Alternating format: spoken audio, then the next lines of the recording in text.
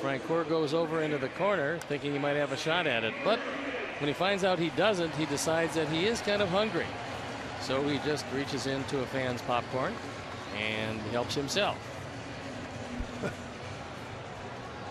Illinois lottery, anything's possible.